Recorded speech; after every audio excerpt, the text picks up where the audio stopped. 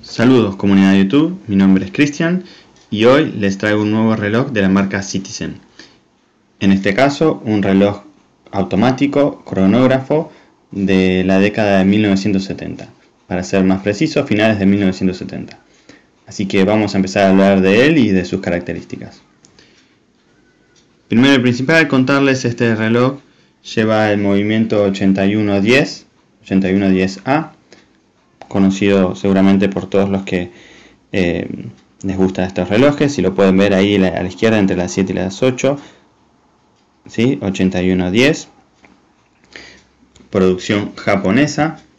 Este mm, reloj particular que tengo yo es de 1980.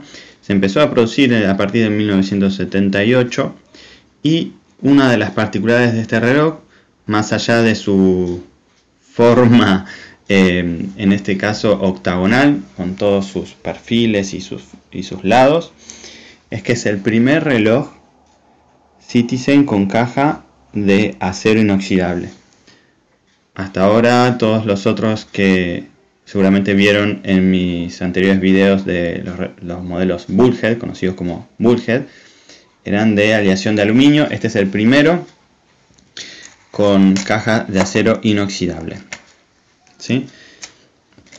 A diferencia de los otros Bullhead, como les dicen, este tiene una apariencia muy particular. Fíjense que los botones también están arriba, pero la corona es más grande para poder manejar la mejor y cambiar las horas con facilidad debido a su morfología diferente.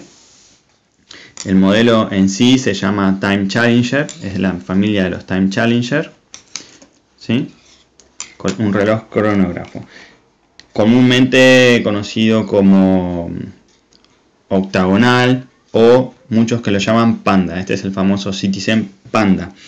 Y le tiene ese apodo por la referencia que hace el cuadrante, el dial, y las tres subesferas en color negro y su similitud con un oso panda. Este reloj tiene las mismas funciones que los otros Time Challenger que ya estuvimos viendo en los anteriores videos.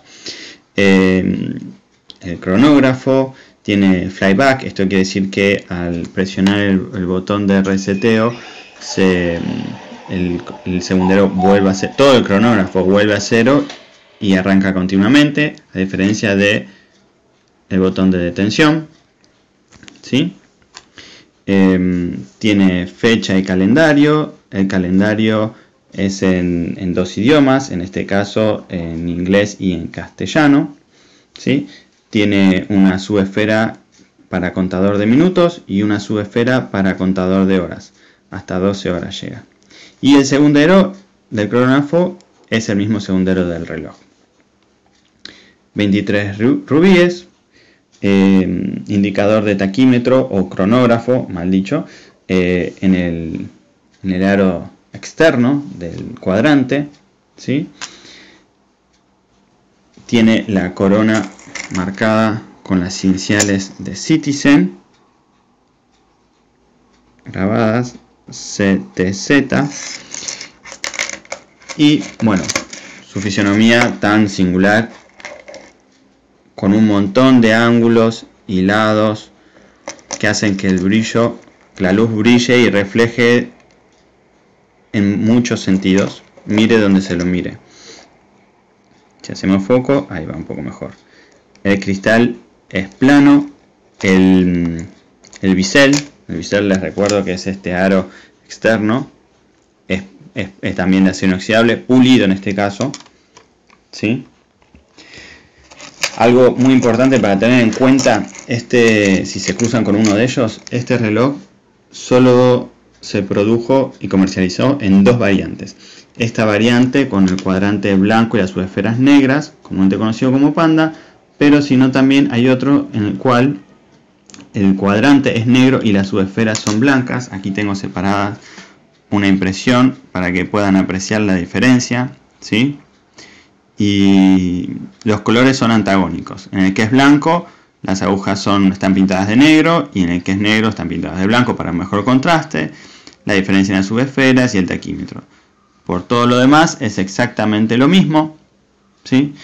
En este caso aquí en la fotografía que les traigo, la malla es la misma que yo tengo, es la original, esto estamos seguros, 100% seguros que es original. Esta posiblemente sea eh, otra variante, pero no la que viene con el modelo. Fíjense que la, malla, las líneas de la malla son más anchas a medida que se acerca a la caja. ¿sí? Los eslabones son más amplios, más grandes a medida que se acercan a la caja, para eh, unirse en perfecta sintonía con las líneas de la caja y tiene una particularidad que este reloj tiene logra hacerlo foco esta, la cara inferior de la caja tiene un rebaje está redondeado tratar de tomarlo está redondeado ¿sí? ahí se ve el brillo sin embargo la parte superior es plana esto es para un mejor manejo de las funciones, de los pulsadores y de la corona. Y no sé si llegan a apreciar por la cámara, la caja, si bien es de acero inoxidable, está cepillada, no pulida. El, el bisel sí está pulido, por eso tiene un brillo espejo, pero la caja en sí está cepillada, no pulida. Y si logran verlo con la, la filmación, está, la caja está pulida en un sentido vertical, ¿sí? mientras que este lado de aquí, ahora voy a tratar de enfocárselos, está cepillado en sentido horizontal. Eso es algo que tienen que tener en cuenta por si se cruzan con alguno de estos relojes. A ver si logro hacer que el brillo nos ayude. ¿Sí? Se ven ahí las líneas del cepillado, sentido horizontal, mientras que para el resto de la caja el cepillado, ahí creo que se ve algo, ese sentido vertical